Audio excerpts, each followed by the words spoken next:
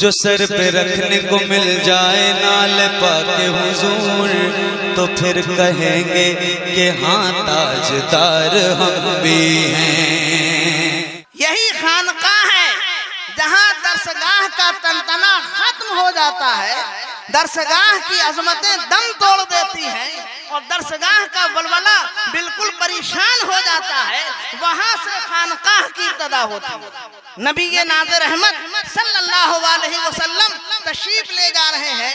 एक जालिम ने कहा कि, ए अल्लाह के नबी, ये पत्थर है और उस तरफ़ तालाब है। आप उस तालाब से बीच में तालाब है, क्या अपने कदमों में पत्थर को बुला लेंगे? मैंने आका परमात्मा बिल्कुल। सरकार ने इशारा किया। पत्थर तालाब में आया, मौजों से खेला तो ज्ञानियों से मुस्कुराता हुआ आगे बढ़ा और नबी के कदमों में पहुँच के कलमा तैयबा पढ़ ला इलाहा रसूलुल्लाह। आप बताएँ, आप भी पत्थर लें, तालाब में डालें, जैसे तालाब में पत्थर डालेंगे, वो पत्थर डूब जाएगा। या बह रहा हो पानी तो पत्थर बहाव पे बह जाएगा। मगर या रसूल अल्लाह जिस पत्थर को आपने बुलाया है, वो डूब नहीं रहा है। पानी के बहाव पे बह नहीं रहा है। कदमे नाजे मुस्तफ़ा पे पहुँच के तैयबा पढ़ रहा है। पता ये चला कि दुनिया के इशारे पे चलने वाला हो सकता है कि डूब जाए, लेकिन जो नबी के इशारे पे चलता है, वो डूबता नहीं है। डूबतों को तैरा देता है। यही है खानका। खानका ये सुरकाही से शुरू नहीं हुई है। मस्जिद नबी है और मस्जिद नबी का एक हिस्सा है, जिसे असहाब सुफा कहते हैं। वहाँ से दरसगाह की भी उजाले फैल रहे हैं और खानकाह की नखतें भी फैल रही हैं। नबी ये नाजर अहमद ने इशारा किया, पत्थर डूबता हुआ, मौजों से खेलता हुआ, मुस्कुराता हुआ, नबी के कदमों में पहुँचा है। अजीजा ने मिलत इस्लामिया, मैं अर्ज़ ये कर रहा था कि उस्ताद ने अपनी खानकाह में बैठकर देख लिया कि शागिर्द ने किताब अलमारी में सजा दी। कैमरे नहीं लगे थे। गूगल का इंतज़ाम नहीं था। आज के नित नए आलात नहीं थे, कुछ नहीं थे। वो निगाहें रूहानियत थी कि एक उस्ताद अपने मसनद तदरीस पर बैठकर देख रहा है कि मेरा तालब इल्म कहाँ गया और क्या कर रहा। बहरहाल का जाओ जल्दी, दरिया के किनारे पहुंचो, शागिर्द पहुँचा चंद लम्हे खड़ा रहा, एक दो हाथ ज़ाहिर किताब दी, कहा कि खड़े रहना। चंद लम्हों के बाद फिर किताब ऊपर आई। गोते खाई, समंदर के अंदर गई और फिर ऊपर आई और आने के बाद वो किताब हाथ में लेके शागिर हज़रत की बारगाह में आ हज़रत, बात समझ में नहीं है, क्या हुआ? कहा के समंदर में गई किताब उसे भीगना चाहिए था और आग बसीदा होना था, जुमले मिट जाना था, तहरीर खत्म हो जाना था, रोशनाई पे जब पानी पड़ा तो पानी से धुल जाना था तहरीर को, मगर कुछ नहीं हुआ। का ये तुम्हारे समझने की बात नहीं है? इसी को खानका कहते जानते हैं? ले जाने वाला हज़रत अल्लामा जाहिदी का शागिर्द। और किताब दी गई किसको? जो हाथ ज़ाहिर हुए दरिया में, जानते हैं वो कौन थे? हज़रत खिजर और एक रिवायत ये है कि वो नबी भी हैं। क्यों दिया था? हज़रत ने कहा कि जाओ उन्हें दो। वो इसलाह कर दे ताकि कोई गलती ना रहे। मैं भी किताब लिखता हूँ। हज़रत से इसलाह करवाता हूँ। हज़रत मुफ्ती साहब को देता हूँ। कोई मकाला लिखता हूँ कि देख लें शायद कोई गलती रह जाए। तो ऐसा है कि जब आदमी किताब या मकाला या मजमून लिखे तो अपने बड़ों के पास जाकर दिखाए ताकि कोई गलती न रहे वरना छपने के बाद जो इल्ज़ाम होते हैं अल्लाह की बना। इसीलिए हज़रत ने भी किताब लिखी। और किसे दिया? एक नबी की बारगाह में पेश की। तो जिस किताब को नबी देख ले क्या गलती हो सकती है? खता का इम्कान हो सकता है? कोई नक्स रह सकता है? कोई कमी रह सकती है? नहीं। तो हज़रत खिद्र ने उस किताब को देखी, जिसका नाम तफसीर जाहिदी है। उसी तफसीर जाहिदी में लिखा हुआ है, हज़रत मखदूम बिहारी रहमा फरमाते हैं कि जब नबी नाज रहमत सल्लल्लाहु अलैहि वसल्लम बज़ाहिर दुनिया से तशरीफ़ ले गए। हमारा अकीदा क्या है कि नबी ज़िंदा है। क्या है? बोलिए। हाँ अगर नबी ज़िंदा ना हो तो दुनिया ज़िंदा ना रहे। रूहे कायनात है मुस्तफ़ा। और जब रूह रुखसत हो जाएगी तो दुनिया ज़िंदा कैसे रहे? तो पता चला कि दुनिया है। दुनिया में रंगीनियाँ हैं। चांदो सूरज के उजाले हैं, कहकशा की अंजुमन है, फूलों में तबस्सुम है, कलियों में नजाकत है, आबशार में तरन्नुम है। इससे ये समझ में आ रही है बात कि हमारे और आपके नबी ज़िंदा हैं। तो बज़ाहिर तशरीफ़ ले, हमारी निगाहों से ओझल हो गए। तो तीन दिन के बाद हज़रत सैयदना अबू बकर सिद्दीक रदी अल्लाह अन्हु ने पूरे मदीने की दावत फरमाई। सबको खाना खिलाया, सब लोग हाजिर हुए। सैयदना उमर रदी अल्लाह अन फरमाते हैं कि अबू बकर, ये क्या है? क्यों आप खाना खिला रहे हैं? तो हज़रत सैयदना अबू बकर सिद्दीक रदी अल्लाह अन्हु फरमाते हैं कि आज का दिन नबी के उर्स का दिन है। तो क्या समझ में आया? कि उर्स न बरेली से शुरू हुआ, न कछौछा से, न मरहरा से, न बदायूं से, और न करबला मुअल्ला से, न नजफ अशरफ से, उर्स की इब्तदा मदीना मुनव्वरा से हुई।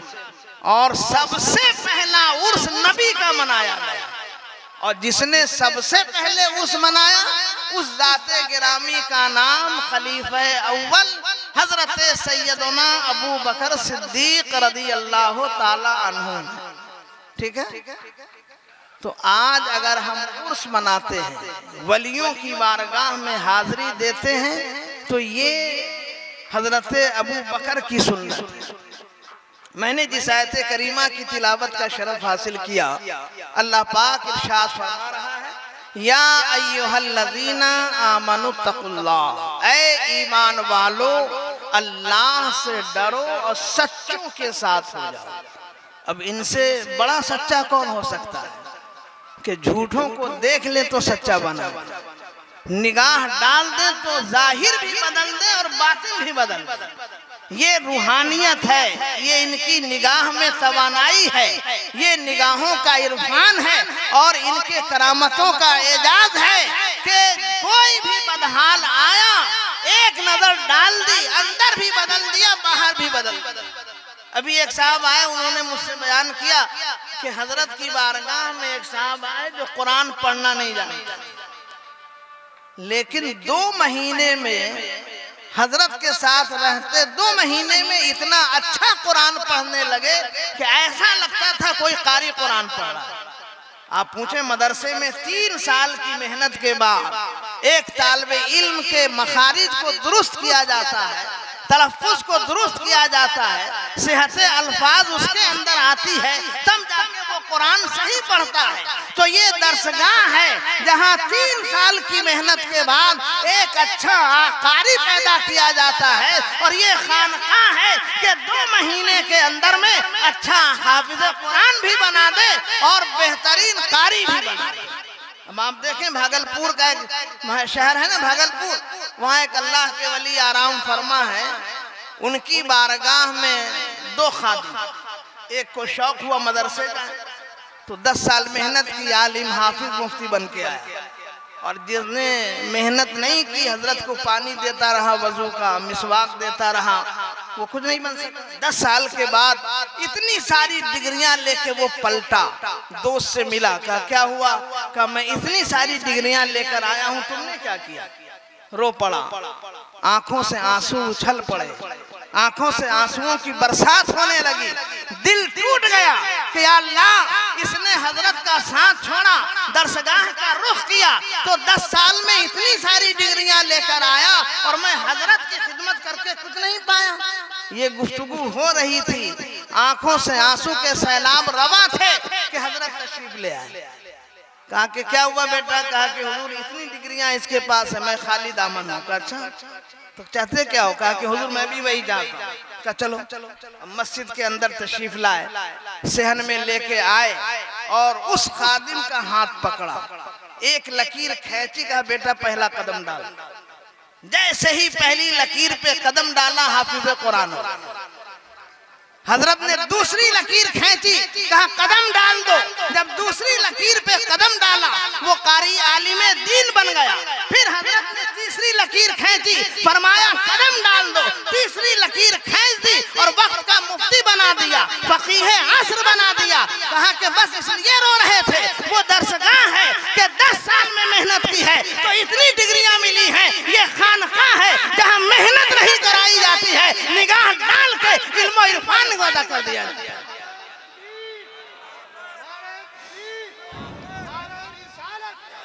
इरफान की सारी सरहदें हज़रत दाता अली शाह के कदमों से वाबस्ता फैजान का सारा चश्मा सरकार यूसुफ के कदमों से वाबस्ता इल्म की सारी जगमगाहट महबूबुल असफिया के तलबों से वाबस्ता है। लेकिन दिल पाकीदा हो, निगाह पाकीदा हो, जहन पाकीदा हो, जज्बात पाकीदा हो, फ़िक्र पाकीदा हो तो सब मिलता है।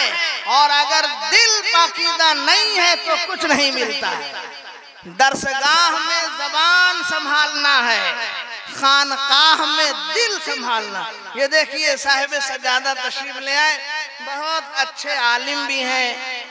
और इस जमाने में ऐसे आलिम को देखने के लिए निगाहें तरसती ये ये सारे लोग हैं, मैं इनका एहतराम इसलिए करता हूँ कि इस उम्र में और तकवा, इस उम्र में और शरीयत पे अमल, ये बहुत बड़ी दौलत है। वरना आप देख रहे हैं हमारे मुआशरे की आवारगी क्या है। आप नहीं जान रहे हमसे ज़्यादा आप जानते हैं कि बच्चे आवारा हैं, उनकी फिक्रें आवारा हैं। उनका शूर आवारा है, उनके एहसास आवारा है, उनके ख्याल आवारा है, मगर घर का कोई फर्द ऐसा नहीं जो ये कह सके कि तुम आवारगी में मुबतला क्यों? ये नौजवान उसकी नकल करते हैं जो उन्हें पहचानता नहीं। बाल यहाँ से छिला लिया, यहाँ रख लिया अभी किसकी नकल कर रहे हो तुम? जब नबी की सुन्नत ये थी कि टखने से ऊपर पैजामा पहनो, आलिम चीखते रहे, मगर कोई अमल न कर सका। आज नचनिया कर रहा है तो हमारा नौजवान कर रहा। पता ये चला कि तुम नचनिया की ज़िंदगी देख रहे हो, काश के ओलमा की ज़िंदगी देखते नाइब रसूल की ज़िंदगी देखते। मियाँ मोहब्बत अगर करना ही है तो नबी से अच्छा कौन हो सकता? मोहब्बत करने के लिए चाहिए कि हुस्न हो। तो मेरे नबी से अच्छा हुस्न किसका होगा? आला हज़रत फरमाते हैं, वो लमियात नजीर कफी नजरिन, मिसले तू ना शुद्ध पैदा जाना। और आला हज़रत फरमा रहे हैं, वो हँसी, मुफ्ती आज़म फरमा रहे हैं, वो हँसी क्या जो फितने उठा कर चले? हाँ हँसी तुम हो, फितने मिटा कर चले। तो मेरे नबी से ज़्यादा हसीन हो सकता है। अगर हुस्न पर किसी के पैदा होना हो तो नबी से ज़्यादा कोई हसीन नहीं हो सकता। यही बोले सिदरा वाले चमने जहाँ के थाले सभी मैंने छान डाले, तेरे पाए का न पाया। या रसूल अल्लाह पूरी दुनिया देखी, ज़मीन देखी, आसमान देखा, अर्श देखा, लह देखा, कायनात का हर लिया है, मगर आप जैसा किसी को नहीं देखा। हुस्न खाता है जिसके नमक की कसम, वो मली है, दिलारा हमारा। मुस्तफ़ा जाने रहमत है। आओ, प्यार करना है तो नबी से करें। अदा लेनी हो तो नबी के ले किरदार अपनाना हो तो मुस्तफ़ा का अपनाए। नबी ये नाजिर रहमत हैं। असर की नमाज़ पढ़कर तफरीह के लिए निकले। चंद कदम आगे बढ़े। देखा कि काफला खैमा जन है। चंद ऊँट चल रहे हैं। एक बड़ा कीमती और हसीन ऊँट था। आका फरमाते हैं काफले के सरदार से, ऊँट बेचोगे कहाँ? का कीमत? का इतनी? सरकार ऊँट खरीदने नहीं गए थे, तफरीह के लिए, सैर के लिए तशरीफ़ ले गए पसंद आया का ठीक है? मेरा सहाबी तुम्हें पैसा दे जाएगा। सरकार ऊँट लेकर आगे बढ़े और जब पहाड़ के ओट से ऊँट भी छुप गया, मुस्तफ़ा भी ये हो गए। तो ऊँट के वो काफले के लोगों ने सरदार से कहा कि जिसको तुमने ऊँट दिया है, क्या पहचानते हो का नहीं? नाम का नहीं। उसका एड्रेस का नहीं। उसका कोई तारुफ का नहीं। उसका कोई इंट्रोडक्शन का नहीं। का कुछ नहीं। और इतना कीमती ऊँट उसको दे दिया जिसको जानते नहीं हो। तो जानते हैं, खैमे के ऊँट से खातून ने कहा, सुनो अगर वो नौजवान पैसे नहीं देगा तो मैं उसकी रकम अदा कर दूँगा। लोगों ने कहा कि तुम जानते हो नहीं जानते?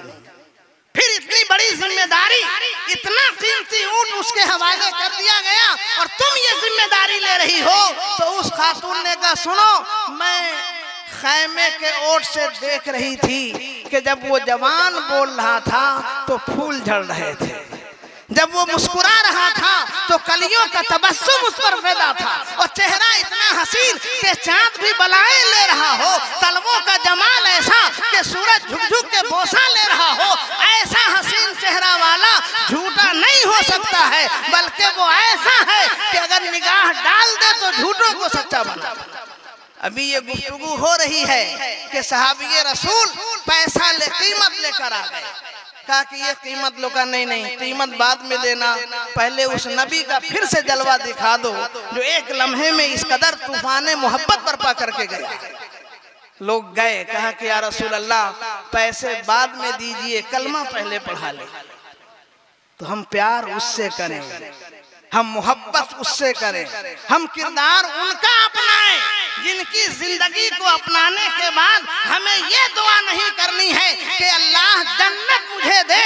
जन्नत ये कहेगी, मौला, इस वफादार मुस्तफ़ा को मेरे पास भेज नौजवानों बचाओ अपनी ज़िंदगी। नस्लें तुमसे पाकिजा हों नस्लें तुमसे महफूज होंगी। मुस्तकबिल तुम्हारे साथ में है और मुस्तकबिल को अगर खराब करना हो तो ये नस्ल खराब हो जाएगी, मुस्तकबिल खराब हो जाएगा। इसलिए मैं आपसे गुजारिश करूँगा, बड़ी पाकिजा जगह हम हैं और ये पाकिजा उर्स है। मैंने अर्ज़ किया कि निगाहें तरसती हैं ऐसे उर्स को देखने के लिए, जहाँ खिलाफ शरा कोई काम ना हो। मैं मुबारकबाद पेश करता हूँ मुहिब गिरामी, हज़रत अल्लामा मौलाना अबू नसर साहब किबला, रजवी मिसबाही तेगी जीदा मजदहू को, कि उन्होंने अपने वालिद का उर्फ़ इस एहतराम तकद्दुस से किया है, कि मैं यकीन के साथ बोल रहा हूँ कि फरिश्ते भी इस उर्स पर अपने बरकतों से नवाज़ रहे हैं। तो इसलिए मैं अर्ज़ करूँगा कि उर्स को ऐसे ही करें। जहाँ बदनामी ना हो। आज हमारा मुखालिफ, आज हमारा फरीक, आज हमारा हिजब मुखालिफ बड़ी तेज़ी के साथ सुन्नियत को बदनाम करने के लिए पर तोल रहा है। मगर ऐसे दस बीस हमारे उर्स हो जाए तो हम इस स्टेज से ऐलान कर सकते हैं कि उर्स हो तो महबूबुल असफिया जैसा हो। उर्स हो, सरकार अली जैसा हो। उर्स हो, सरकार यूसुफ, सरकार चाँद चांदपुर जैसा हो। अगर हो ऐसा उर्फ़ तो हम डॉक्टर इकबाल की जबान में कह सकते हैं उदय आदम खाकी से अंजुम सहमे जाते हैं कि ये टूटा हुआ तारा मह कामिल न बन जाए तो मैं आखिरी बात ये अर्ज़ करूँ कि उर्स ऐसा ही होना चाहिए। और नौजवानों, तुम नचनियों के चक्कर में मत जाओ, अपने पीर के किरदार को देखो, अपने ओलमा के किरदार को देखो। ये ओलमा नायबीन मुस्तफ़ा।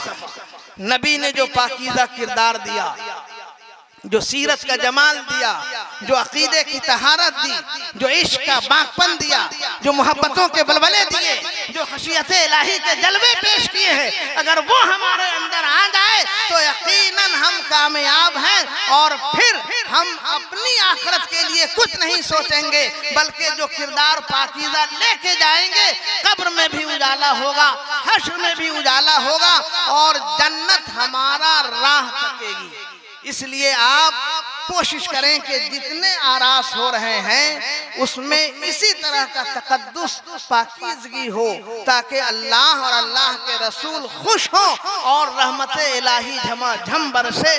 वमा अलैना इल्लल बलाग। सलाम।